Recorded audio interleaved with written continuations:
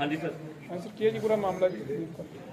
ਇਹ ਜੀ ਸਾਡੀ ਸੀਆਈਏ ਸਟਾਫ ਕਮਿਸ਼ਨਰੇਟ ਪੁਲਿਸ ਨੂੰ ਇੱਕ ਵੱਡੀ ਕਾਮਯਾਬੀ ਹਾਸਲ ਹੋਈ ਹੈ ਕਿ ਜਿਹੜੀ 9-9 ਤਰੀਕ ਨੂੰ ਅਸੀਂ 1 ਕਿਲੋ ਹੈਰੋਇਨ ਪਕੜੀ ਸੀ ਉਹਦੀ ਲੜੀ ਦੇ ਵਿੱਚ ਹੀ ਤਫਤੀਸ਼ ਕਰਦੇ ਹੋਏ ਅਸੀਂ 10 ਕਿਲੋ ਹੋਰ ਹੈਰੋਇਨ ਪਕੜੀ ਹੈ ਸਾਡੀ ਸੀਏ ਸਟਾਫ ਨੇ ਔਰ ਚਾਰ ਦੋਸ਼ੀਆਂ ਨੂੰ ਗ੍ਰਿਫਤਾਰ ਕੀਤਾ ਜਿਨ੍ਹਾਂ ਕੋਲ 10 ਕਿਲੋ ਹੈਰੋਇਨ ਦੀ ਰਿਕਵਰੀ ਹੋ ਚੁੱਕੀ ਹੈ।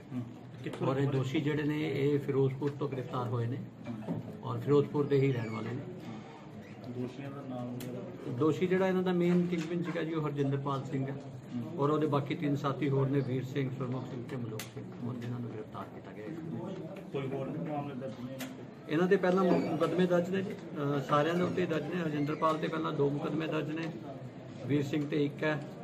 ਸੁਰਮੁਖ ਸਿੰਘ ਤੇ ਵੀ ਦੋ ਮੁਕੱਦਮੇ ਦਰਜ ਨੇ। ਮਲੂਕ ਸਿੰਘ ਤੇ ਵੀ ਇੱਕ ਮੁਕੱਦਮਾ ਦਰਜ ਹੈ। ਸਾਰੇ ਦੇ ਡਰਗ ਦੇ ਮੁਕੱਦਮੇ ਦਰਜ ਨੇ। ਇਹ ਮੇਨ ਇਹ ਸਪਲਾਇਰ ਸੀਗੇ ਵੇਚਣ ਦਾ ਹੀ ਕੰਮ ਕਰਦੇ ਆ। ਕਿਤੇ ਸਪਲਾਈ ਦੇਣ ਆਏ ਸੀ ਉਸ ਟਾਈਮ ਨਹੀਂ ਇਹ ਸਪਲਾਈ ਦੇਣ ਨਹੀਂ ਆਏ ਸੀ। ਇਹਨਾਂ ਨੇ ਮੰਗਵਾਈ ਹੋਈ ਸੀ। ਇਹ ਤਿੰਨ ਜਣੇ ਜਿਹੜੇ ਹੈਗੇ ਆ ਇਹਨਾਂ ਨੇ ਇਹਦੇ ਕੋਲ ਲੈ ਕੇ ਅੱਗੇ ਵੇਚਣੀ ਸੀਗੀ।